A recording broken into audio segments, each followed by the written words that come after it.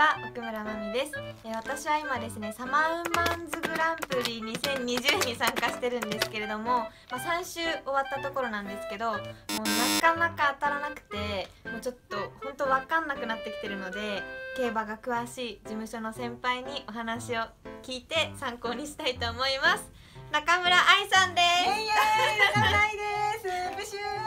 お願いしますす。よくわからない。あやる？やらないです。プシューえ始めたばっかだよねでも競馬はそうです。3回目なんですけど、そもそももう何をどう見てどう選んでいいかが分からなくて。一回も当たってないってことないでしょ三回やってた3回やって一回も当たってない ビギナーズラックってある2着以降は毎回当たってるんですよ。あーオッケーでで1着だけいつも入れてもないっていうその中に。こういう時に買うのが副賞だったり枠だったりとかあそれがもう全然分かんなくて。いやーもったいないねこれが一番。ばいいか教えてほしいです。あーちょっとやりましょうか。お願いします。まずここがはい。このレースのプロフィールみたいなもんなんですけれども、このコースは芝の1600だよ1600だよと、あ大体 1600m は16って略してます。16これだけ知ってるとなんか通っぽくないですか？16 16 1008とか。1008 16 1002 1002みたいな。左のコースみたいな。で新潟は直線があるよとかいろいろあるんですけれどもまあ最初はそこはもう覚えなくてよくってはい。次行きましょう。もういいんですよ 新潟直線と覚えておけば。大時間が新潟長い直線。あ新潟直線。新潟長い直線。はい。以上。以上。はい大丈夫です、そして頭数これ分かりますよね。1から18、でこれ枠になってて、はい。まあ1番2番3番4とあるんですけどこれで1枠2枠3枠みたいな。あそうなんですね。そうなんです。あじゃあ枠で買うっていう人は、例えばここを枠で買いますとか。これが結構枠は初心者にめちゃくちゃおすすめ。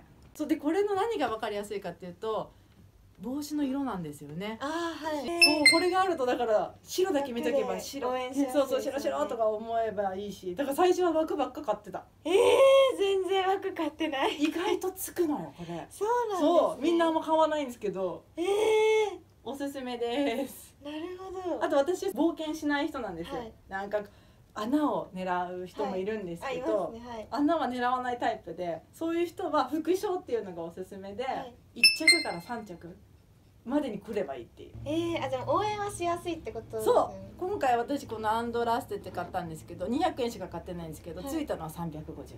えー、こんな少ないですけど当たったからもらえる。2000円だったら3500え円2枚だったら3万5000円ってなるじゃない？はい。そう。と思って当たることが一番大切副賞もやったことなかったです。大体最初は誕生日馬券みたいなの買ったら一番。いやそうなんですよ。でしょ？当たりやすいですよ。で今日ちょうど私がもう誕生日に関わる数字を買ってればもう本当に当たってたんですよ。誕生日何何日ですか？8月17なんですけどまあ8はあれですけどこれ？17、まあ、18とかも817とかで買ってれば完璧に当たってたのに一番最初にバツつけたのがこの2つだったんですよ。なんだ からこれ本当に買ってればよかったんですよね、そうだよだってよく見て。丸いっぱいついここほらいろんな印ついてるじゃん。これ印ついてるとこ貼っときゃいいじゃないか。あそうそうなんですよ。これ予想だよこのプロの予想よこれ。なんかこの2週間、うん。結構なんかその1着がうんうん。誰も予想してないような馬が来てたんですよ、あーはいはいはい。1番とか、なんで私はもうそれを見越して今回は1番を選んでちょっとみんなの人気は無視しようと思ってて、自分に自信を持つな。調子に乗ったんですね。調子乗った。で次またじゃあみんなの丸ついてるとこって買うとダメなんです。そうなんですよ。なんかそういうのがあるんで。それが競馬 馬にイケ馬はお尻を見るみたいな。馬にイケメンあるかもね。馬いいですね。そういいかもね。一回馬もか調べてみて毛色もあるじゃない、あありますありうん。うんます、ここに一応書いてあるんですけどね何色かみたいなのもね。まだ競馬場には行ったことない？何回かあるんですけどそのそこでこう実際買ってめちゃめちゃ応援みたいなそこまでしたことがないので。また見るとねうわ光で自分が買いたいのが光って見えたり。ああええわあこの絵絶対いいみたいな。やってみたい。うん。考今回まだ結構本当に考え抜いたんで。え抜きました。さっぱりそうそうもう。結構直感とかで決めて、うん。まあ当てるのを目標にしていきたいなっていう感じで大丈夫そうですかね。大丈夫だと思う。本当に当てたいんだったら、はい。競輪の方がいいかもしれない。そもそも違う。えっと私が参加しているサマーウーマンズグランプリですね。次回も進むと今度は5人から1人にはい。